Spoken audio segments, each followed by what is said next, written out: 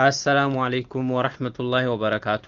ውድና የተከበራችሁ የማሜ ቲዩብ ተከታታዮች ሰላም፣ ጤና፣ ፍቅር በያላችሁበት የዓለም ዳርቻ ይድረሳችሁ። ሶስት አጠር አጠር ያሉ መረጃዎች አሉ ይላካፍላችሁ። እስከ ዝግጅት የፍጻሜ ድረስ ተከታተሉኝ። በደቡብ ብሔር ብሔረሰብ ሕዝቦች ክልል ውስጥ አንድ ዞን በመሆን ለሶስት አስርተ ዓመታት ያህል የቆየው የሲዳማ ዞን ዛሬ ውሳኔውን ዴክሳሜታሶን ኢትዮጵያ ውስጥ ጥቅም ላይ ስለሚውልበት ሁኔታ ባለሙያዎች ሀሳብ አቀረቡ። ቻይና የአፍሪካን የበሽታ መቆጣጠርና መከላከል ማዕከል CDC ዋና መስሪያ ቤቷን በአዲስ አበባ እንደምትገነባ ፕሬዝዳንት ዢ ጂንፒንግ ተናገሩ።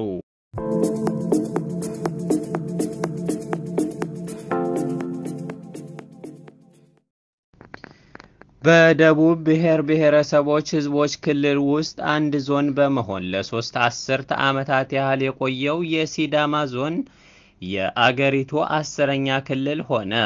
የደቡብ ብሔር ብሔረሰቦች ህዝቦችና ክልል ምክር ቤት ዛሬ ማካሄድ በጀመረው አስቸኳይ ጉባኤው የሲዳማ ዞን በህዝበ ውሳኔ በክልል እንዲደራጅ በተገኘው ውጤት መሰረት የስልጣን ርክክብ ተፈጽሟል። በዚህም መሰረት የደቡብ ክልል እና አዲሷ የሲዳማ ክልል በደቡብ ብሔር ብሔረሰቦች ህዝቦችና ክልል ምክር ቤት አባላት ፊት የዞኑን ስልጣን በማስረከብ ዞኑ ክልል መሆኑን ይፋ ሆኗል። የሲዳማ ህዝብ በህዳር ወር ህዳር 10 2012 ዓ ም ባካሄደው ህዝባዊ ውሳኔ ላይ ከሁለት ሚሊየን በላይ ህዝብ ድምፅ ሰጠ ሲሆን ዞኑ ክልል እንዲሆን የሚያስችለውን ከፍተኛ ድምፅ በማግኘቱ ነው እዚህ ውሳኔ ላይ የተደረሰው። የሲዳማ ህዝብ በከፍተኛ ድምፅ ራስን ችሎ ክልል እንዲሆን መወሰኑን የኢትዮጵያ ምርጫ ቦርድ ያሳወቀው ደግሞ ህዳር 13 2012 ነበረ። የደቡብ ብሔር ብሔረሰቦች ህዝቦች ክልል ምክትል ርዕሰ መስተዳደር አቶ ርስቱ ይርዳው የሲዳማ ክልል ራሱን ችሎ መውጣትና በሌሎች ህዝቦች ላይ የሚፈጠረውን ተጽዕኖ እንደማይኖር መናገራቸውን ፋና ዘግቧል። የሲዳማ ዞን ራሱን የቻለ ክልል ለመሆን ለዓመታት ጥያቄ ሲያቀርብ ቆይቶ የጠቅላይ ሚኒስትር አብይ አህመድ አስተዳደር ከመጣ በኋላ ጥያቄውን ተጠናክሮ በህዝበ ውሳኔ አልባ እልባት አግኝቷል። ከሲዳማ በተጨማሪ በደቡብ ክልል ውስጥ ያሉ ከአስር የሚበልጡ ዞኖች ራሳቸውን ክልል እንዲኖራቸው ጥያቄ ማቅረባቸው በተደጋጋሚ ሲገለጽ ነበር። ማክሰኞ ሰኔ 2 2012 ጠቅላይ ሚኒስትር አብይ ከደቡብ ክልል የዞን እና የልዩ ወረዳ አስተዳዳሪዎች ጋር ተገናኝተው ከተነጋገሩ በኋላ የሲዳማ ዞንን ጨምሮ የደቡብ ክልል በአራት የሚከፈል አዲስ አወቃቀር ለፌዴሬሽን ምክር ቤት እንዲተላለፍ ከስምምነት ላይ መደረሱን ተሰምቷል። ቻይና የአፍሪካን የበሽታ መቆጣጠርና መከላከል ማዕከል CDC ዋና መስሪያ ቤትን በአዲስ አበባ እንደምትገነባ ፕሬዝዳንት ዢ ጂንፒንግ ተናገሩ። የማዕከሉ ግንባታ ከታቀደው ጊዜ በፊት በዚህ ዓመት እንደሚጀመር ፕሬዝዳንቱ ጨምረው ተናግረዋል። የቻይናው ፕሬዝዳንት ዢ ጂንፒንግ ይህንን የተናገሩት ትናንት በቻይና አፍሪካ ኮቪድ-19 ስብሰባ ላይ ሲሆን በጉርጎሪያኑ 2020 መከፈል የነበረባቸው ከወለድ ነፃ ብድሮችን ለአፍሪካ አገራት እንደምትሰርዝም አስታውቃለች።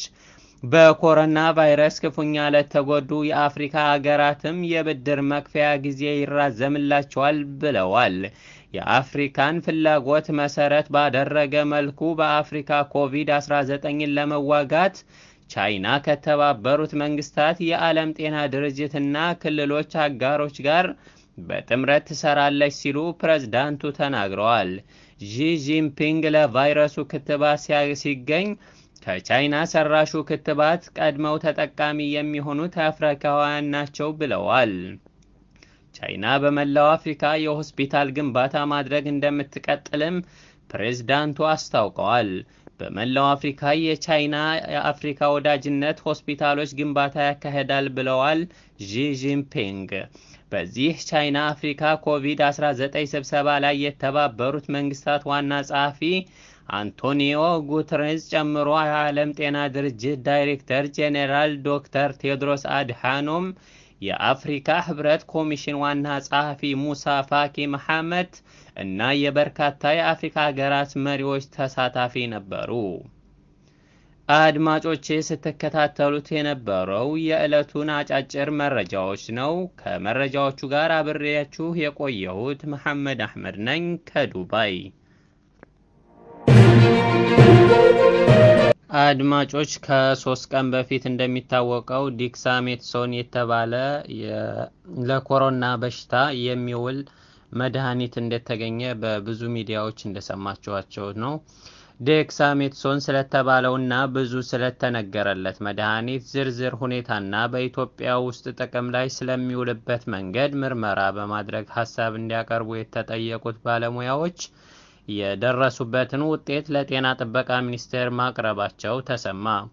በጤና ሚኒስቴር የሕክምና አገልግሎት ዋና ኃላፊ የሆኑት አቶ ያዕቆብ ሰማን ለቢቢሲ እንደገለጹት በመድኃኒቱ ላይ ምርመራውን እንዲያደርግ በሚኒስቴር መስሪያ ቤቱ ውስጥ በኮሮና ቫይረስ ዓለም አቀፍ ወረርሽኝ ጋር በተያያዘ ለተቋቋመው የባለሙያዎች አማካሪ ቡድን በሚኒስትሯ ዶክተር ሊያ ታደሰ ነው መመሪያው ምርመራውን እንዲያደርጉ የተጠየቁት። በዚህ መሰረትም ቡድኑ ይፋ ያደረገውን ሙሉ ጥናት ከመረመረም በኋላ የደረሰበትን እንዲህም ይሆናል ያለውን ምክር ሀሳብ አቅርቧል ሲሉ አቶ ያዕቆብ ለቢቢሲ ገልጸዋል። ባለሙያዎቹ በዴክሳሜትሶን ዙሪያ የተነጋገሩት ጥናትና መከራን ጥናትና ሙከራን በተመለከተ የተዘጋጀው ጭምቅ ሀሳብ ታትሞ ለሕዝብ ይፋ ከሆነ በኋላ ስለ መድኃኒቱ ጠቅላላ ይዘት እንዲሁም ኢትዮጵያ ውስጥ ጥቅም ላይ ሊውል ስለሚችልበት ሁኔታ ጥናት በማድረግ ሀሳብ እንዳዘጋጁ ታውቋል። ስለ መድኃኒቱ አጠቃቀም ይህ ጥናት ቡድኑ ያቀረበው ምክር ሀሳብ ዝርዝር ይዘት ገና ይፋ አልተደረገም። አቶ ያዕቆብ እንዳሉት ዴክሳሜትሶን ከዚህም ቀደም ለተለያዩ በህመም ምክንያት ሲውል የነበረ መሆኑን አስታውሰው መድኃኒቱ ኢትዮጵያ ውስጥ እንደሚገኝም ጠቅሰዋል። በዚህም መሰረት በበርካታ መገናኛ ብዙሃን ተጋኖ እንደተዘገበው ሳይሆን የመድኃኒቱ ፋይዳ ከኮቪድ-19 ጋር በተያያዘ በጽኑ ሕክምና ላይ የሚገኙ ህመሟን የሞት መጠን መቀነስ እንደሆነ ይህ አዎንታዊ ጠቀሜታው በቁጥር ደረጃ ሲሰላ አነስተኛ ነው ብለዋል። በማህበረሰቡ ዘንድ መዘናጋትን እንዳይፈጥርና አሁንም ዋነኛው መተኮር ያለበት መንገድ ባለሙያዎች የሚሰጧቸውን የመከላከያ እርምጃዎች መተግበር ነው ሲሉ ገልጸዋል። በርካሽ ዋጋና በስፋት የሚገኘው ዴክሳሜትሶን በኮቪድ-19 በጽኑ የታመሙ ሰዎች ህይወትን ሊታደግ እንደሚችል የዩናይትድ ኪንግደም ባለሙያዎች ባደረጉት ምርመራ እንደደረሱበት መግለጻቸው ይታወሳል። በሙከራው ይህ መድኃኒት በኮሮና ቫይረስ በጽኑ ከታመሙ ሶስት ሰዎች ውስጥ የአንዱን ህይወት መታደግ እንደሚችልና በወረርሽኙ ሰበብ ኦክስጅን በሚያስፈልጋቸው አምስት ሰዎች ላይም ሊያጋጥም የሚችልን አንድ ሞት ሊያስቀር እንደሚችል ተገልጿል።